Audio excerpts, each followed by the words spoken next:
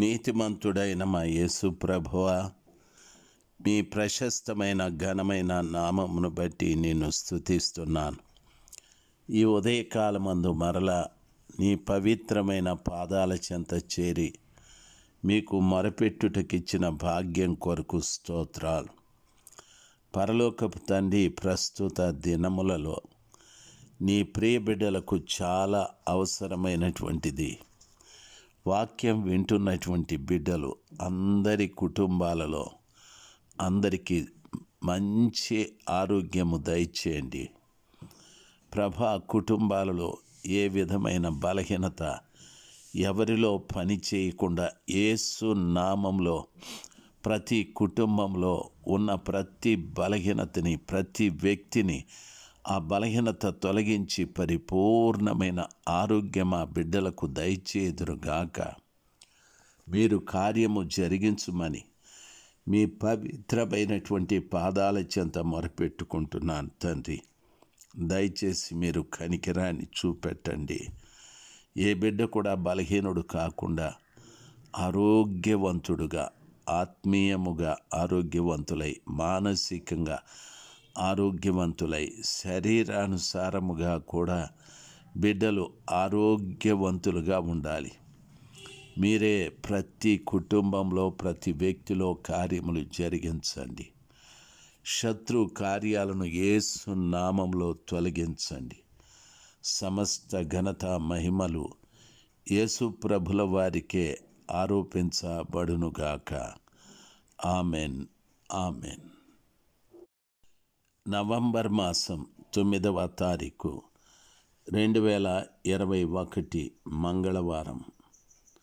యహోశువా గ్రంథం పద్నాలుగవ అధ్యాయం పన్నెండవ వచనం నుండి మనము చదువుకుంటూ వెళదాం.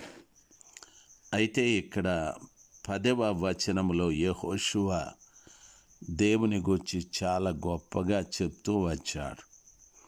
యహోవా చెప్పినట్లు యహోవా మోషేకు ఆ మాట సెలవిచ్చినప్పటి నుండి ఇస్రాయేలీయులకు అరణ్యంలో నడిచిన ఈ నలభది ఐదేండ్లు ఆయన నన్ను సజీవునిగా కాపాడి నన్ను సజీవునిగా కాపాడి ఉన్నాడు నేనిప్పుడు ఎనభై ఏండ్లు వాడను. మోషే నన్ను పంపినవాడు నాకెంత బలము? నేటి వరకు నాకంతే బలం. ప్రియులరా గమనించాలి. నన్ను పంపిన నాడు నాకెంత బలమో నేటి వరకు కూడా అంతే బలముందని యోహశివ మాట్లాడుతూ ఉన్నాడు.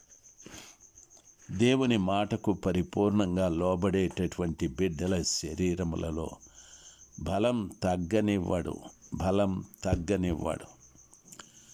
ఈ రోజున చాలామంది బిడ్డలు బలహీనులు అవ్వటానికి చాలామంది బిడ్డలు ఆరోగ్యంలో కుదుటబడటానికి పడకపోవటానికి కారణాలు చాలా ఉన్నాయి.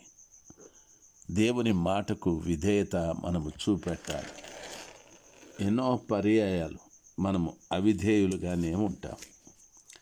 ఆ విషయంలో దేవుడు చాలా దుఃఖించవలసి వస్తుంది. అవిధేయత అనేది దేవునికి ఇష్టము లేనటువంటి కార్యం. ఆ కృపగల దేవునికి విధేయత చూపెట్టినటువంటి బిడ్డలు చాలా దీవించబడతారు ఆశీర్వదించబడతారు. దయచేసి గమనించాలి. నిర్గమాకాండం పదహే పదిహేనవ అధ్యాయం ఇరవై ఆరో వచనంలో చెప్తారు.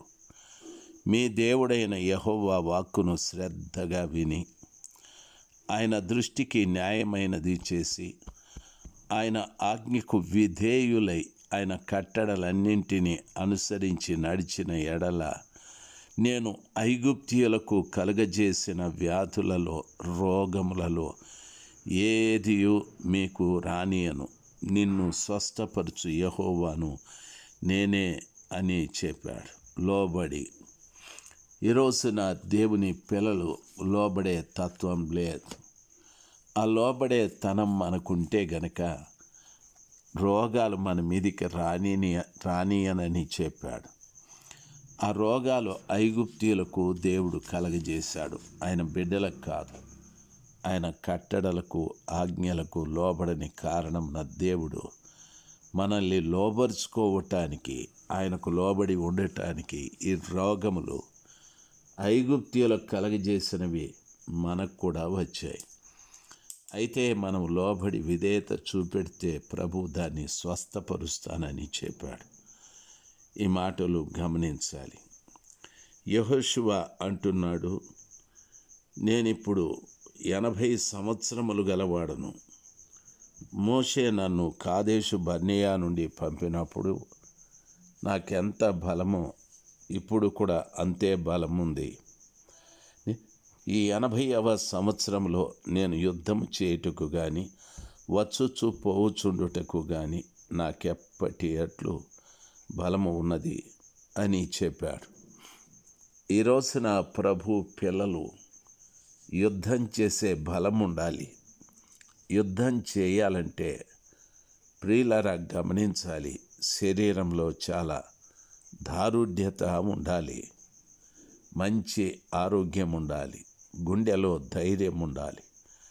ఒక మంచి తీర్మానం చేసుకునే ఆలోచనలు ఉండాలి. దేని విషయం కూడా భయపడకూడదు. యుద్ధంలో ప్రాణం పోతుంది లేక ప్రాణం తీస్తాం. యహోశివ అంటున్నాడు నాకు ఎనభై ఏండ్లు ఇప్పుడు కూడా నేను యుద్ధం చేయటానికి సిద్ధంగా ఉన్నానని అంటాడు. కాబట్టి ప్రియులారా మన బలం యుద్ధం చేసే అంతగా ఉండాలి. ఆ రోజున వారికి యుద్ధాలు ఉన్నాయి ఈ రోజున మనకు లేవు అని అనకూడదు మనకు కూడా ఉన్నాయి. వారికి దృశ్యమైన యుద్ధాలు మనకు అదృశ్యమైన యుద్ధాలు. మనం పోరాడున్నది శరీరులతో అధికారులతో కాదు అంధకార చీకటి శక్తులతో దురాత్మల సమూహాలతో. ప్రియులారా గమనించాలి. అంధకార చీకటి శక్తులతో దురాత్మల సమూహాలతో పోరాడాలి. నీ వయసు ఎనభై కానీ నూట ఇరవై కానీ ఆ దయ్యపు శక్తులతో నిత్యము పోరాడుతూ వాని ఓడిస్తూ మనంతకు మనం విజయాన్ని సంపాదించి పెట్టుకోవాలి. ఆ రీతిగా ప్రతి బిడ్డలో కూడా మార్పును కలిగించు ప్రభా అవకాశాన్ని దయచే ప్రభా. అని ప్రభు దగ్గర మనం మొరపెట్టుకునేవారుగా ఉండాలి. ప్రియులరా గమనించాలి. కాబట్టి ఆ దినమున యహోవా సెలవిచ్చిన ఈ కొండ ప్రదేశమును నాకు దయచేయము. అనాకీయులను ప్రాకారము గల గొప్ప పట్టణములు ఇక్కడ ఉన్నాయి. అనాకీయులు అంటే మొరటివారు మొరటివారు. ఆ అనాకీయులను వారున్న ప్రదేశమును అవి కోటలు గల పట్టణమని తెలుసు అవి నాకు ఇవ్వమని యహోశువ అంటూ ఉన్నాడు. ప్రియులరా గమనించాలి.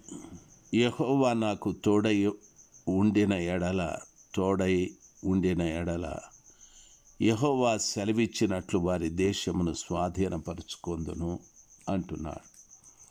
దేవుడు నాకు తోడుగా ఉంటే ఆ దేశాన్ని నేను స్వాధీనం చేసుకుంటానని యహోశివ మాట్లాడుతూ ఉన్నాడు. ఈ రోజున ప్రభు పిల్లలైన మనము ఆలోచించాలి. ఏదైనా ఒక దాన్ని మనం స్వాధీనం చేసుకోవాలంటే దేవుడు మనకు స్వాధీనంలో ఉండాలి. లేక దేవుని స్వాధీనంలో మనం ఉండాలి. అప్పుడు మనము దేన్నైనా సాధించగలం.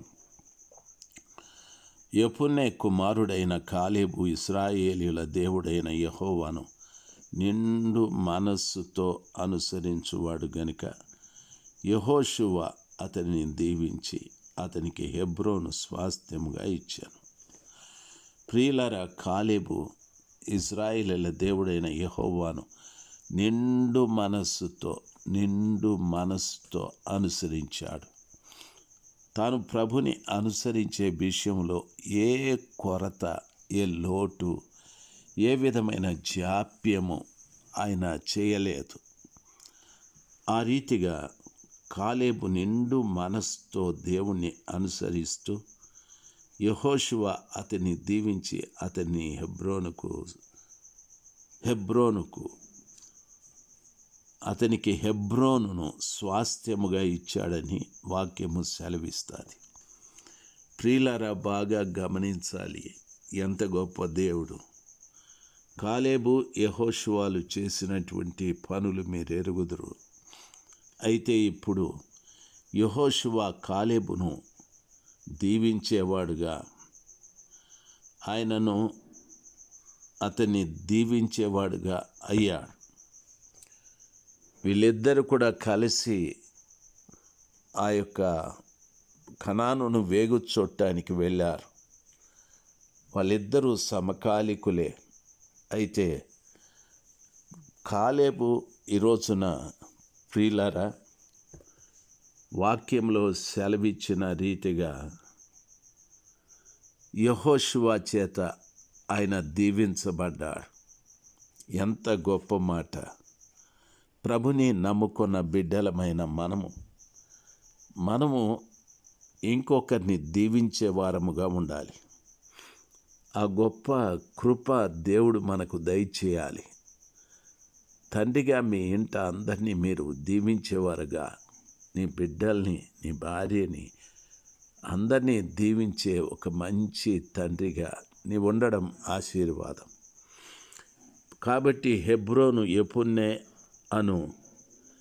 కెనేజీయుని కుమారుడైన కాలేబునకు నేటి వరకు స్వాస్థ్యముగా ఉన్నది.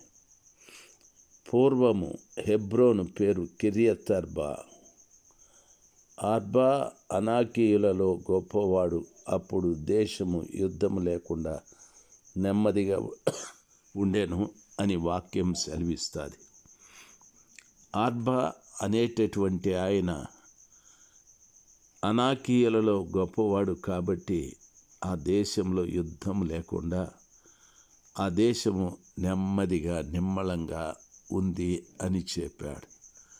ఈ రోజున చాలామంది జీవితాలలో నెమ్మది లేదు. చాలామంది కుటుంబాల్లో నెమ్మది లేదు. గమనించాలి. ఎందుకు అని అడిగితే యుద్ధం చేసేవారు లేక ప్రియులార సాతానుడితో పోరాడేవారు లేక మన కుటుంబాల్లో మనలో నెమ్మది లేని జీవితాలు జీవిస్తూ ఉన్నాం. ఈ రోజున సాతానుడితో పోరాడే బలాన్ని ప్రభువుని అడిగి సంపాదించుకుందరుగాక ఆమెన్. ఆమెన్.